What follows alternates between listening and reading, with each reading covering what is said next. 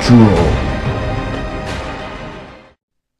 What's up YouTube? I am here to bring you a lighting tutorial for Cinema 4D. Now, I'm not the best lighter, but uh, I do, sorry, I do uh, know how to make at least decent lighting. So uh, if you have no clue how to light, then this tutorial is for you. And maybe even if you do know how to light, then you can learn some new stuff. sorry, got something in my throat. Uh, but if you guys uh, have any questions about Cinema 4D, just leave them in the comments of any Cinema 4D video. Uh, and uh, what is it? And then I might do a tutorial about it. So uh, let's just get started here. Uh, the first thing you're going to want to do is to make a floor. And then uh, I, I'm just going to use a primitive, but say you have an object or whatever but I'm just gonna use a sphere. And uh, I got the drop drop to floor plugin, so I'm just gonna hit that baby, and here we go. Are you ready for this? Bam! Look how sexy that is. That that's the most perfect lighting I've ever seen. I'm just kidding. Uh, I'll actually get into the lights. Okay, one trick I like to use, not really a trick, but is to uh, let's get a light and uh, what was I going to do? Uh, the first thing you want to do is bring the intensity down, say to like 20, and then uh, you're supposed to offset the colors a bit, so I'll just do that. Usually I go with a blue tint because that's just the way I do it. And you go up here to array, put the light under the array. So now you got this cool thing going on. That's not really anything yet. So uh, next thing you're going to want to do is go to shadows and uh, soft. So uh, this will give you shadows. You can't see anything now because the array's at the floor. So if you bring this up, let's let's turn. There we go.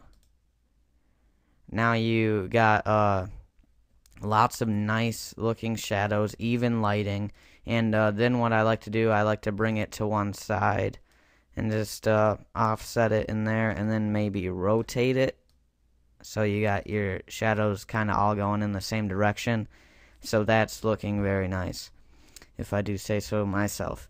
Um, and then uh, uh, what else you can do is usually uh, in a photography set there's uh, three lights. Uh, that's that's the main thing is a three light studio.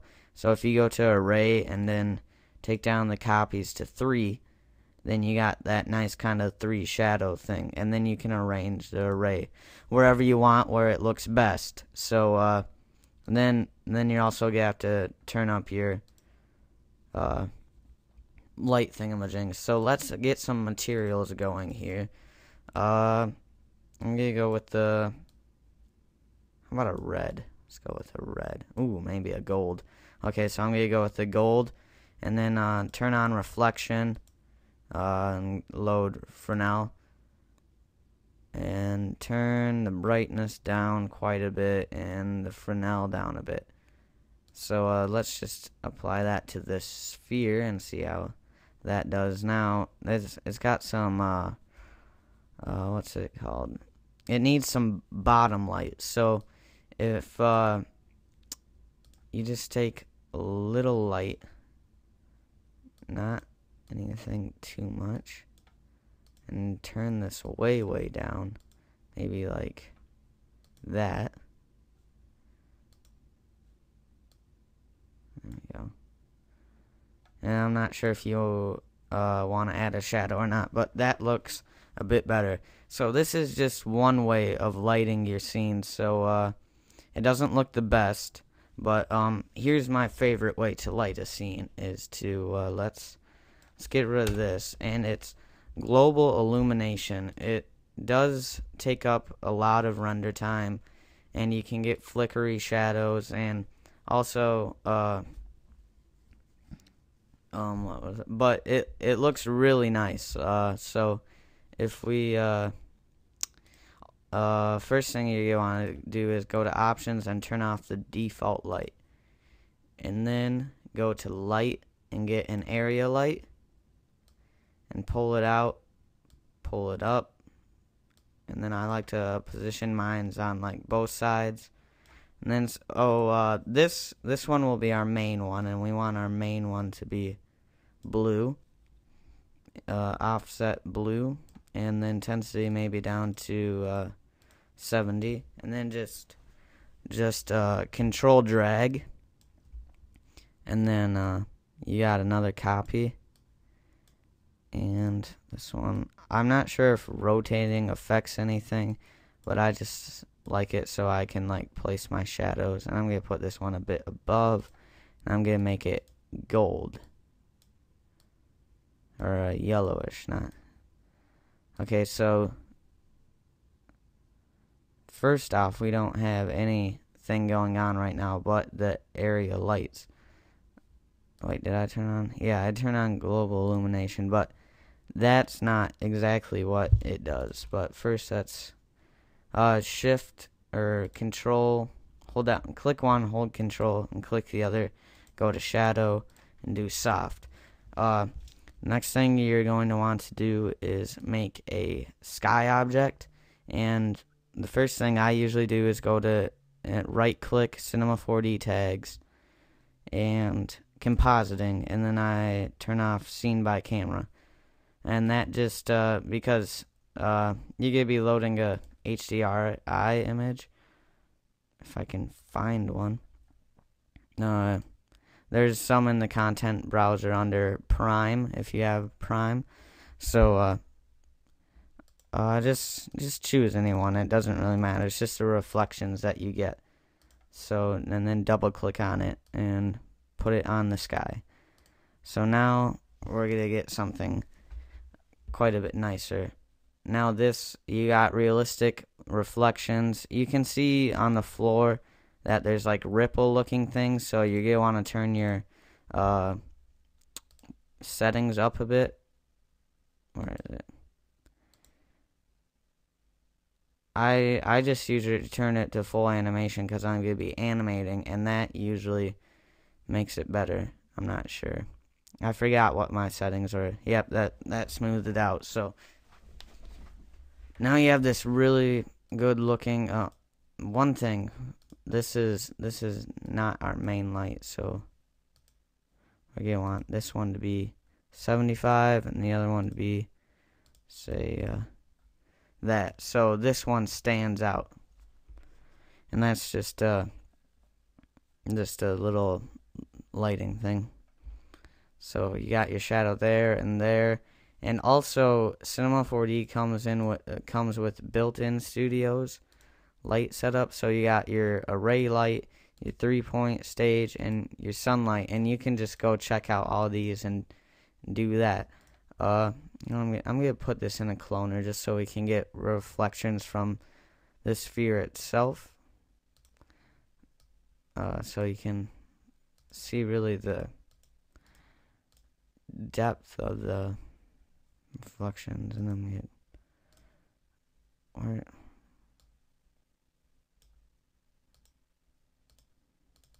no I'll make it lower.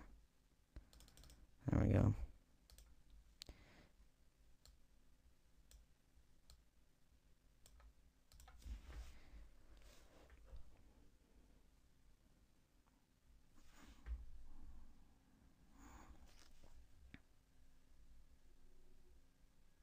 Okay, so you can see the other spheres in this, and it looks really nice. You got the trees that you can see, and uh, what else is there? There's uh, there. I know I'm forgetting something, but uh, ooh, what? I don't know. Let's just add some more materials. How about uh, a bit of a reflectional. Uh,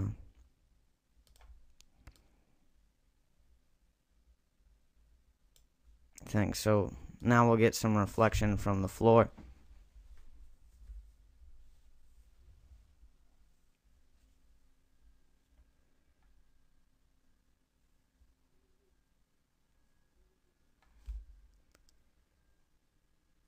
And you, you can see that global illumination does take up a lot of render time. So 17 without that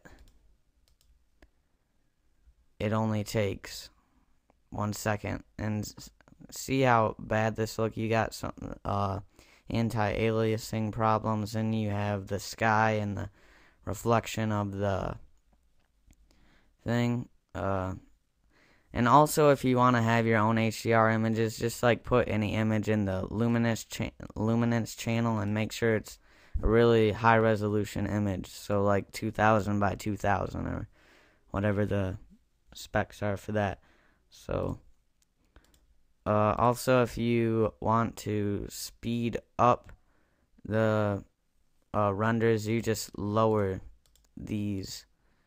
And uh, we were at 17 seconds. Let's see what this is now. Now it's at 3 seconds. And it looks almost exactly the same, except for you have some problems in the background. And uh, you also, if you're animating, you'll probably have some flickering of the shadows, which is really annoying. And the next thing you need to do just to make your scene finally look good is uh, get some anti-aliasing. And uh, where is it? Just go to best, start with 2 by 2 and work your way up. And that seems to solve the problem, but if it doesn't, just go to 4x4. And if 4x4 doesn't, which it most likely will, go to 8x8. I've never had to go to uh, 16 by 16.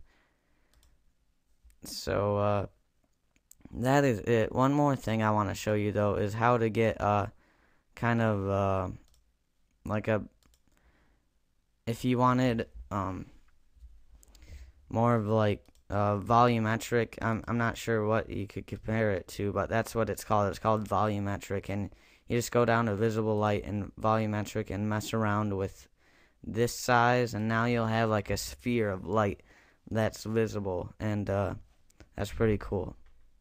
Uh, probably want it to have shadows.